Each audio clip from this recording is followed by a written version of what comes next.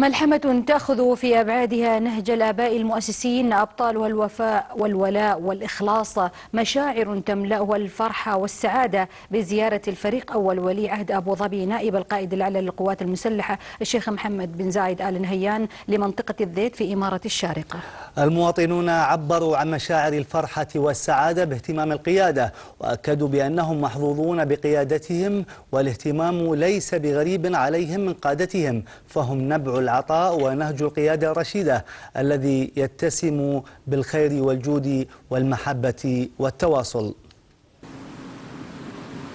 هي أيام لن تغيب عن الذاكرة الشعبية التي قدمت نموذجا رائدا في التفاعل البناء بين القيادة والشعب الذي يزداد رسوخا يوما بعد آخر. تصنعه القيادة لما فيه مصلحة أبنائها هدفا أوليا. ولا تألو جهدا في توفير مقومات الحياة الكريمة لكل المواطنين في شتى ربوع الوطن الغالي.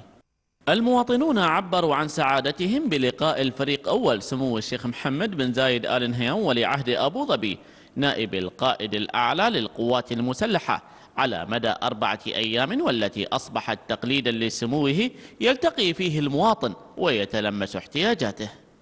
أشكره على هذه الزيارة الميمونة المستديمة سنويا وتعاد لمواطنين الإمارات ككل في كل عام.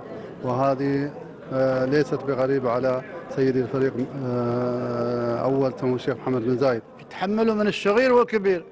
اللي يعني ما كل يعني يدي طلب عطوه لا ما مقصرين فيه. الوايب ياخذوه عندهم مرضوه. يعطوهم ما مقصرين. الكلام الزين حتى قدر من الإنسان يهوى عليه يشفع عليه هو يهوه يحبوا واحد تعبان فرخ يعني ما حد مثلهم مو شيوخنا إحنا. كلمات صاغتها فرحة لقاء تترجم عمليا سياسة الباب المفتوح التي تميز علاقة الشعب بالقيادة تتعرف من خلاله على أحوالهم واحتياجاتهم وتستمع لمطالبهم.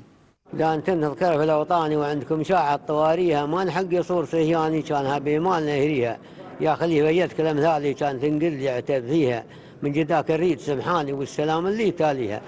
المواطنون أكدوا أن تاريخ الإمارات السياسي والاقتصادي والإنساني يصنعه رجال أقوياء يتصفون بالحكمة وينثرون الخير كله لأبنائهم في كل شبر من أرض الدولة الفتية.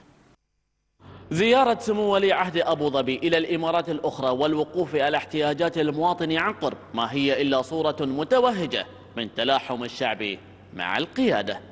رائد الشايب قناة أبو ظبي من مدينة الذيد الشارقة.